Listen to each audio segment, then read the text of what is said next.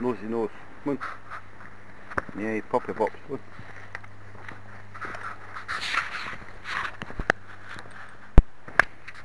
This is me and Poppy walking through the that lane up here in Falkirk at 1 o'clock in the morning, uh, 29th July.